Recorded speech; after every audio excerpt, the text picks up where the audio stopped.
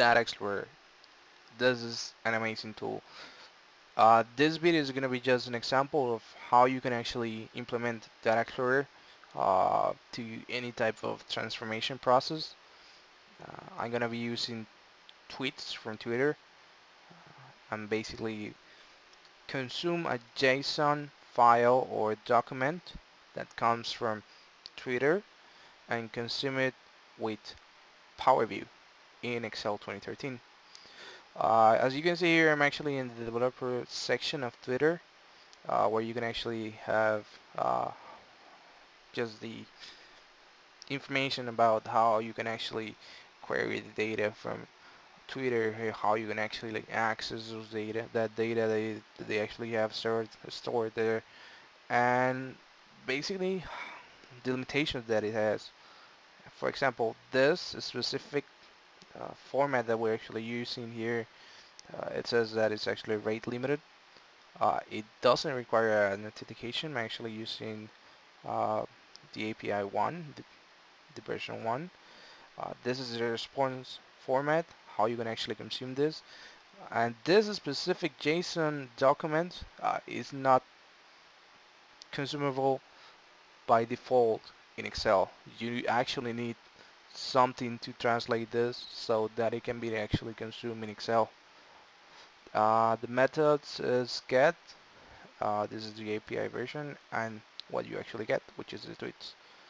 So right up to this point here, they actually have an example. I'm just gonna use it so you can actually just see it. So I open Excel 2013, go here where it says Data Explorer, click here where it says From Web.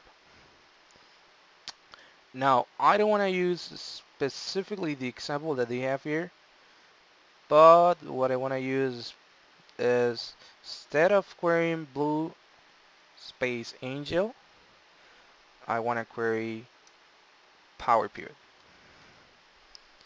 And I want the returns per page to be 100 which is basically the maximum of information the maximum amount of tweets that we can actually query I just hit OK and it creates this uh, it actually opens this new win window, the query editor, and it tells me, hey, this was completed in this amount of time.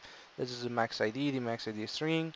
Uh, the next page, um, this is the page one, um, and this is results results per page. And if you can actually see here where it says list, it's actually a hyperlink. If I actually click here, then it will actually open a list of all the tweets that I was able to get from that specific JSON document. If I actually click in any of those, I will get all the metadata, metadata from the specific tweet. But I don't want to consume one, one by one. So I click here and expand this uh, section where it actually shows me all the steps that I have been doing, uh, that I've done so far. And if I go back one I go here where it says list. I want to delete this one this step and I want to transform this list into a table. Now what happens when I transform this into a table? You'll see you'll notice that the only difference is that I actually get this new icon if I click this icon it will actually expand or hide the actual columns that are in this table. These are all of the columns that are actually in this table and I'm just gonna hit OK and it will unhide off or actually bring me all of those uh, specific columns. So here is actually telling me hey you went from here source then you click on results then you actually change that as you can see here table from list and that information here. You change in the type and then you expanded the column. That's basically what I did. And that's pretty much it. All, all that you actually have to do now if you want to do anything else to this data here you can go ahead and just hey I want to split this column into two or remove duplicates any information like that you, can actually change it. Or if let's say that let me see here. Um, hmm. let's say that for some reason data in here is not for example Bayesian Bayesian I want to change this so it can be transform this from I don't know. Let's be capitalize each word. It changed to this. And best is actually uh, capital B now. Now that's kinda cool. After I'm actually done with this I can just hit done it will actually bring that table to Excel. And as you can see here it will bring me this query settings to my right. And what I'm gonna do is that I don't want this to load on the worksheet. I don't want this to take any any memory out of me. So I'm gonna click here. And I want this to be on memory but on my Power data model. So I click here where it says load data model.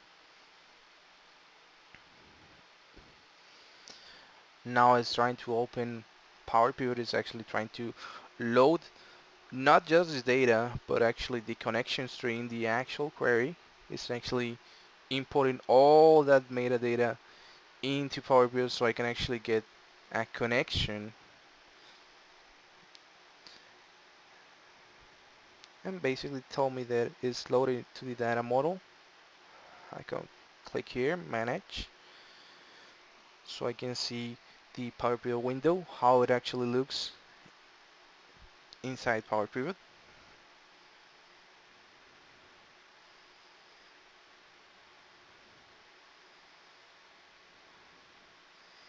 preparing the Power BI window. Please wait. And I saw here, I can actually see here query one. So what is this query one? Like, where, where did it come from? If I go here with where it says table properties, I can actually just take a look at, let's say, uh, let's see, let's say that we can actually get a better one from the existing connections. If I actually go here to select existing connections while it's actually loading, when it finishes loading it will actually show me that connection string which is not just values in a table anymore it's actually a connection string to Data Explorer as you can actually see it here so this is actually connecting to Data Explorer in and in this case Data Explorer is actually the one that is uh, making all the process all the connections uh, all the steps that you actually saw there. Uh, it's actually doing the ETP process the extract transform and publish. Uh, is now actually uh, being consumed in Power Pivot so I'm actually done with this. I actually have my data here. Uh, let's say that I actually have it the way that I want it uh, as you can see here I actually have the profile image. I'm gonna change this change this so it can be an ima image URL fair enough. Excel 2013 actually suggested this one as image URL and this one too. Let's look at those. I'm gonna go here where it says insert insert Power View. Working on opening Power View sheet.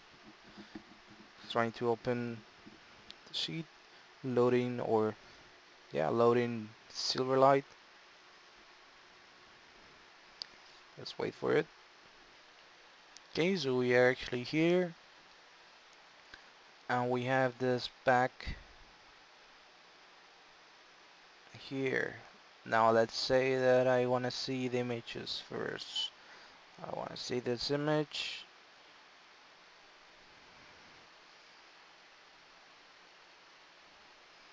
I drag it and drop it on the fields. Once it's actually in the fields it should be requesting me uh, to get the data from those URLs I say enable content. Yeah you can get the data from those okay let's say that I actually have it here. Uh, I want to see this. Let's say uh, I want to see this as a card. And I actually want to see who they are